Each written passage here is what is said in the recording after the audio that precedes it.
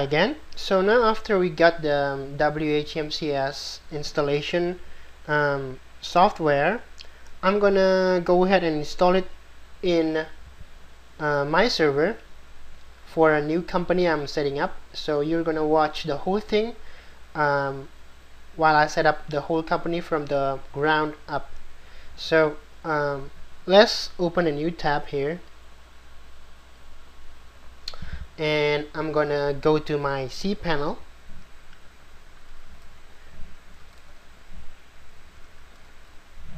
um, there we go. So here's my cPanel now I'm gonna go to my uh, file manager under files here. Let me show you let me um, paint it so you can see where's the file manager. So here's the file manager here okay? So um, click on that. It doesn't look really good huh? But that's okay. I mean the, the circle. Click on that file manager. Now it's gonna open your cPanel file manager. So I'm I'm um, basing the whole videos I'm making here um, in the project 1000 videos. Uh, that's um, I assume you're using a web host manager or cPanel so I'm going to use the whole videos um, using cPanel or Web Host Manager. So here's the file manager and I'm going to upload my um, recently downloaded WHMCS software into this whole um, my website folder. Okay so let's just do that now. I'm going to click the upload here. The upload um, this one the upload. I'm to click on that. So let's do that. And I'm going to browse my um, WHMCS it's in, in my downloads folder. I think it's on the documents downloads. Wait let me search okay so I download it here under admin. Downloads. Here. So I have the file here the WHMCS file. So I'm uploading that into my um, cPanel my website folder my public underscore HTML folder. So it's going to take a while. I'm going to pause this video until it's uh, the upload is complete okay okay so as you can see the upload um, is now complete. So we can just uh, click go back to the home directory the public HTML directory here. So I'm to click this one here.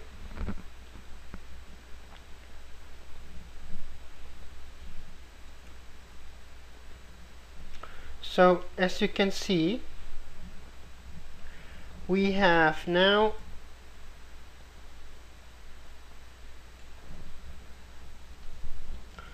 okay so down at the bottom tick that tick that and then you choose the you choose the unzip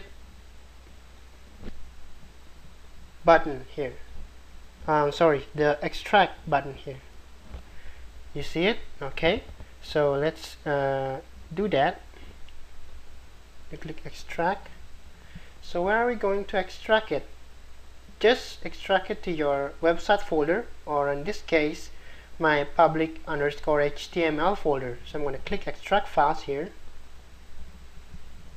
As you can see it's being extracted real fast okay? So I'm going to close this now. Now we have WHMCS folder here as you can see. Let me circle it for you again. Uh, click new here and uh, new WHMCS folder okay? So I'm to clear that.